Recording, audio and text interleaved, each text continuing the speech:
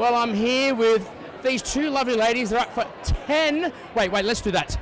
10 nominations here tonight. How are you feeling? I mean, I'm, I feel pretty good about that. I feel pretty great about meeting you, though, to be honest, because you know we've both got children, and so like you know, Uh, anytime we meet someone from place, a little bit. this is Aw. ooh, no, it's we're, we're so delighted. Like it's this is our first full-length narrative show, so to have um, it recognised in this way is it's pretty humbling. We're we're really through the roof, know, so happy. Deadloch, what a crazy ride. I loved it. Kate Box, amazing actor. And Tasmania, beautiful part of the world, and you've just showcased that in the show. Tell us about making the show over the last couple of years.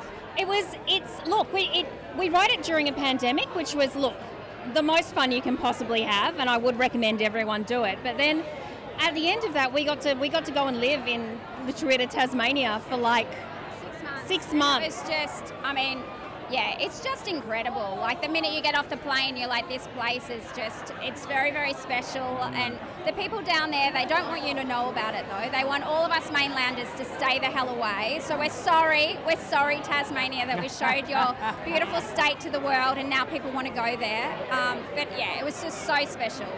Well, congratulations. An epic 10 nominations for Deadloch. Enjoy the night, win, lose, or draw. But if you win, lose, or draw, you can always party no matter what at the end of the night. plan on doing that. You know. Yeah.